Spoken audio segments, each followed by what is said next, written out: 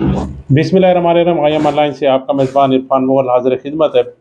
आपके साथ दो खैबर पख्तनख्वा की खबरें। खैबर पख्तनख्वा इसम्बली के हवाले से हैं और एक इस्लामाबाद से आरफ अलवी की खबर है, शेयर करनी है।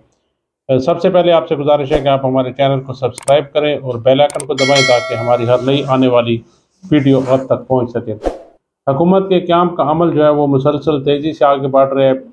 पंजाब और सिंध में स्पीकर और डिप्टी स्पीकर का इंतखब अमल जो है वो मुकम्मल कर लिया गया है। स्मूथली चूँकि उन दो सूबों में अक्सरियत थी, दो पार्टियों की, सिंध में पीपल्स पार्टी की और पंजाब में मुस्लिम लीग नून की तो उन्होंने अपना जो प्रोसेस है वो मुकम्मल कर लिया। खैबर पख्तनख्वा में भी आज़ाद उम्मीदवार कामयाब हुए थे, यहाँ पर भी पी टी आई की अक्सरियत थी, लेकिन चूँकि वो किसी पार्टी में शामिल नहीं हुए थे, आज़ाद उम्मीदवार थे तो इसलिए थोड़ा वहाँ पर देर हो रही है मामला को संभालने में। यहाँ पर भी इजलास तलब कर दिया खैबर पख्तनख्वा में। अट्ठाईस फरवरी मंगल के रोज़ इजलास तलब किया गया है, जिसमें नए अरकान जो है वो हल्फ उठाएँगे, स्पीकर और डिप्टी स्पीकर का इंतखब होगा, वो अमल में लाया जाएगा और फिर उसके बाद वजी अला का इंतखब होगा। तो खैबर पख्तनख्वा में इस वक्त अली अमीन गंडापुर जो है वो अपनी कबीना की तश्कील में सरगर्मी अमल है। बताया ये जा रहा है कि तकरीबन पंद्रह अफराद पर मुश्तमिल काबीना जो है वो बनाई जाएगी और ये नाम जो है इमरान खान को अरसाल कर दिए गए हतमी मंजूरी इमरान खान देंगे कि खैबर पख्तनख्वा की काबीना में कौन कौन शामिल होगा। ये भी बताया जा रहा है कि कुछ ऐसे लोग जो पी टी आई के लाइल हैं, उनसे वाबस्ते हैं, बहुत पुरानी उनकी वाबस्तगी है और पार्टी से बहुत मुखलस हैं। और उनको भी खैबर पख्तनख्वा की सूबाई कबीना में एडवाइज़र मुकर किया जाएगा। और दीगर जो स्पीकर और डिप्टी स्पीकर हैं, उनके नामों पर भी गौर किया जा रहा है और ये नाम इमरान खान को अरसाल किए कर दिए गए और फिर इमरान खान इस पर हतमी फैसला करेंगे। एक खातून रुकन, सूबाई इसम्बली मुंतखब हुई थी के पी से जिसका ताल्लक पी टी आई से था बहरल वो हुई तो आज़ाद थी। तो उनको डिप्टी स्पीकर बनाए जाने का इम्कान है। तकरीबन मामला जो हैं वो आखिरी मराइल में दाखिल हो चुके हैं और के पी के जब मंगल को इजलास होगा अट्ठाईस फरवरी को तो तमाम चीज़ें जो है वो खुल कर सामने आ जाएँगी। अली अमीन गंडापुर अपनी टीम की तश्कील में सरगर्मी अमल है। और उनके कंधों पर बहुत बड़ी और भारी जिम्मेदार ज़िम्मेदारी आयद हुई है, क्योंकि खैबर पख्तनख्वा में जो उनको हुकूमत मिली है तो बाकी सूबों में तो उनकी हुकूमत नहीं है, वफाक में भी उनकी हुकूमत नहीं है। और मैंने जैसे प्रोग्राम में पहले भी कहा था कि खैबर पख्तनख्वा जो माली तौर पर मुश्किल का शिकार है तो अमीन गंडापुर के कंधों पर बड़ी भारी ज़िम्मेदारी आयद होती है। तो इससे किस तरह निबर्द आजमा होते हैं ये तो उनका आने वाला वक्त ही बताएगा। लेकिन इस वक्त जो सूबाई इसम्बली में अपोजिशन जमाते हैं, वो आपस में इख्तलाफात का शिकार हो गई हैं। उसको देखते हैं कि उनकी क्या वजूहत है इख्तलाफात की। हुकूमत बनाने के लिए तो जो पी टी आई के आज़ाद अरकान कामयाब हुए थे, उनके पास तो अपनी अददी अक्सरियत पूरी है। लेकिन इस वक्त जो मसला है, वो अपोजिशन जमातों का है और उनके आपस में इस बात में इख्तलाफात हैं कि खैबर पख्तनख्वा इसम्बली में अपोजिशन लीडर कौन बनेगा। तो इस हवाले से जमीयत इस्लाम जो है, वो अकरम खान दुरानी को अपोजिशन लीडर बनाने के लिए सरगर्म अमल है, जबकि दूसरी जानब पीपल्स पार्टी और मुस्लिम लीग नून मिलकर अपना अपोजिशन लीडर लाना चाहते हैं। तो इस वक्त खैबर पख्तनख्वा की इसम्बली में ये जमातें जो आपस में इख्तलाफात का शिकार हैं जो हमें इतलात मिली है, उसके मुताबिक यह है कि खैबर पख्तनख्वा इसम्बली में कैसे इख्तलाफ का ताल, कोई फैसला नहीं हो सका कलील तदाद में होने से अपोजिशन जमातें जो है वो मुनकसिम में और आपस में उनकी कोई एक बात तय नहीं हो पा रही है, क्योंकि उनकी जो तादाद है वो इंतहाई कम है। इस वक्त खैबर पख्तनख्वा इसम्बली में अपोजिशन मम्बरान की तादाद कुल तेईस है। जिनमें जे यू आई के नौ अरकान हैं नून लीग के आठ पी पी पी के पाँच एन पी और पी टी आई पी का एक एक उम्मीदवार खैबर पख्तनख्वा की सूबाई इसम्बली में है। तो इस वक्त जमीयत इस्लाम मुस्लिम लीग नून की जो है तकरीबन तादाद बराबर है। पीपल्स पार्टी अगर मुस्लिम लीग नून के साथ मिल जाती है तो उनको अददी अक्सरियत हासिल हो जाएगी और वो अपना अपोजिशन लीडर लाने में कामयाब हो जाएँगे। लेकिन इस वक्त तीनों जमातें जो है वो कोशिश कर रही हैं कि वो अपना उम्मीदवार लेकर आएँ। खैबर पख्तनख्वा की आप पोजीशन देखें तो इंतहाई इस हवाले से दुख होता है कि माजी में जो ए एन पी की हुकूमत थी, जिसने हुकूमत की है खैबर पख्तनख्वा में और बिलखसूस तो उन्होंने बड़ी कुर्बानियाँ दी हैं दहशत गर्दी के ख़िलाफ़ जंग में। उनकी सारी क्यादत जो है वो इससे मुतासर हुए हैं, उनके अहम रहनुमा जो है दहशत गर्दी के ख़िलाफ़ जंग में शहीद भी हुए हैं। तो उनकी अब जो पोजीशन है, खैबर पख्तनख्वा इसम्बली में बड़ी हैरान कन है।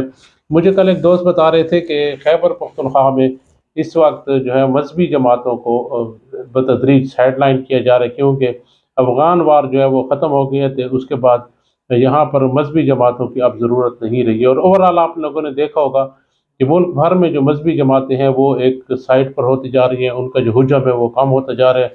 इसम्बलियों में उनकी मेम्बरशिप कम होती जा रही है।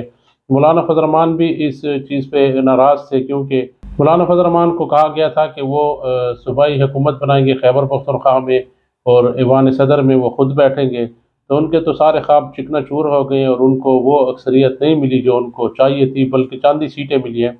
अगर इस बात को देखा जाए कि मजहबी जमातों को साइड लाइन किया जा रहा है तो ए एन पी जो एक सेकुलर जमात जिसको कहा जाता है, जिसको आज़ाद ख्याल कहा जाता है, जो जो तरक्की पसंद और मुल्क की तरक्की और खुशहाली पर यकीन रखती है तो उसका पूरा सूबा इसम्बली में एक मेंबर हुआ। हालाँकि माजी में एन पी ने बड़ी कामयाबी हासिल की और खैबर पख्तरखा में बड़ी अक्सरियत के साथ हुकूमत किया लेकिन ये भी बड़ी परेशान कन और हैरानकुन बात है कि फिर भी उसके बावजूद जे यू जो है वो तो इसम्बली में नौ सीटें ले गई है, लेकिन एन पी की एक सीट आई है। तो खैबर पख्तनख्वा में सिचुएशन बिल्कुल चेंज हो गई है। पी टी आई जो है वो भारी अक्सरियत से आई है। इस हवाले से कि यहाँ पर मजहबी जमातें जो हैं वो कमज़ोर उनको किया गया है, ये वो कमज़ोर हो गई हैं। तो ये एक अलमिया है कि तमाम मजहबी जमातें और जो तरक्की पसंद जमातें थीं वो जो है साइड लाइन पे हो गई हैं और एन पी जो है वो भी इस रेले में बह गई और उसकी अहमियत भी खैबर पख्तनख्वा में ख़त्म हो गई है।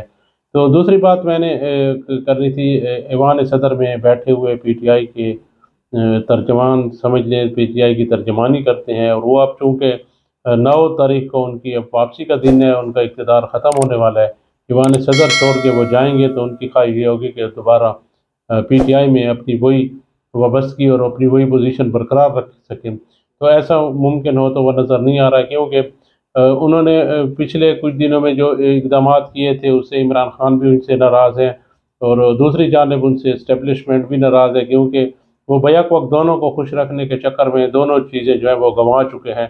तो अब जो है वो कौमी असम्बली के अजलास बुलाने में लहतुलाल से काम ले रहे हैं, जिससे उनकी पोजीशन मज़ीद भी कमज़ोर हुई और उनकी ये ख्वाहिश है कि इस इकदाम से दोबारा इमरान खान की नज़रों में अपनी पोजीशन बना लें तो ये एक आइनी अहदा है और उनको जो है अपना आइनी एक वकार बरकरार रखना चाहिए और अपना जो आइनी उनका किरदार है वो अदा करना चाहिए। लेकिन जिस तरह वो यहाँ पे इकदाम कर रहे हैं, इससे तो उनकी पोजीशन मज़ीद कमज़ोर होती जा रही है। इतला मिली है इस्लामाबाद से कि सदर ममलिकत आरफ अलवी की जानब से कौमी असम्बली का एजाज़ बुलाने की समरी पर दस्तखत में तखीर की जा रही है। ज़रा के मुताबिक सदर ममलिकत के पास कौमी असम्बली इजलास पीर को बुलाने की समरी भेजी गई थी। सदर ममलिकत का ख्याल है कि वह समरी पंद्रह दिनों में अपने पास रोक सकते हैं। सदर ममलिकत का मौक़ है कोई भी समरी पंद्रह दिन तक रोकने का उनके पास इख्तियार आइनी इख्तियार है। सदर को ब्रीफिंग दी गई है कि आइन के तहत कौमी असम्बली का इजलास अट्ठाईस फरवरी को लाजमी बुलाना पड़ेगा। आइन पाबंद करता है कि इंतबात के इक्कीस दिनों के अंदर आपने इजलास लाजमी बुलाना है। गरचे उनतीस फरवरी को कौमी असम्बली का इजलास हुआ तो इस दिन हल्फ के बाद नए स्पीकर का शेड्यूल जारी किया जाएगा। फिर यकम मार्च को स्पीकर कौमी असम्बली के लिए कागजात नामजदगी जमा कराए जाएँगे और दो मार्च को स्पीकर कौमी असम्बली का इंतखब होगा, जिसके बाद उसी दिन डिप्टी स्पीकर का चुनाव भी कर लिया जाएगा। इस तरह तीन मार्च को वजी अजम के इंतबात के लिए कागजात नमजदगी जमा कराए जाएँगे, चार मार्च को कौमी असम्बली वजी अजम का इंतखब कराया जाएगा और नौ मार्च को सदर का इंतखब इलेक्शन कमीशन ऑफ़ पाकिस्तान कराएगा। तो अब नौ मार्च को सदर ममलकत जो है वो अपना अहदा छोड़ने वाले हैं और छोड़ते छोड़ते वो एक नई तारीख रकम कर रहे हैं कि कौमी असम्बली का इजलास नहीं बुला रहे। पी टी आई ने और भी बहुत सारी बातें की हैं। तो एक तो मुल्क में जो एक अदम बर्दाश्त और अदम इसकाम की जो उन्होंने रिवायात डाली हैं, वो काफ़ी परेशान। कन है पीपल्स पार्टी और मुस्लिम लीग नून माजी में आपस में तनाव का शिकार रही हैं। उनके दौरान, उनके भी आपस में इख्तलाफात रहे हैं, लेकिन अब वो काफ़ी मेच्योर हो चुके हैं और गुजशत कुछ दिनों में जो हुकूमत के मामला तय किए गए हैं तो मेच्योरिटी नज़र आ रही थी, लेकिन पी टी आई जो है अभी वो अपने बचपनापन से शिकार है और उनके सदर ममलिकत आरफ अलवी जो इतने संजीदा और सीनियर सियासतदान हैं और वो एक बड़े ऐनी अहदे पर फायज हैं। वो इस तरह के इकदाम कर रहे हैं कि जैसे वो एक आम यूथिया हों। तो इस तरह के इकदाम से जहाँ पी टी आई की पोजीशन ख़राब होती है, वहाँ एक ऐनी अहदे को भी वो दागदार कर रहे हैं। तो बेहतर तो ये था कि वो अपने आइन के मुताबिक जो मामला हैं आगे चलाएँ ताकि नई हुकूमत बर वक्त बन सके।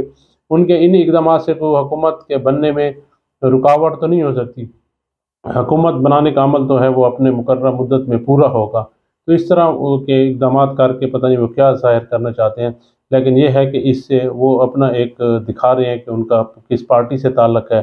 तो इस तरह से करने से जो है मुल्क का वक़ार भी ख़राब होता है और उनका जो आइनी अहदा है सदर ममलिकत का, उसका वक़ार भी ख़राब होता है। इसके साथ ही अपने मेज़बान इरफान मुगल को इजाज़त दीजिए। अल्लाह हाफ़िज़।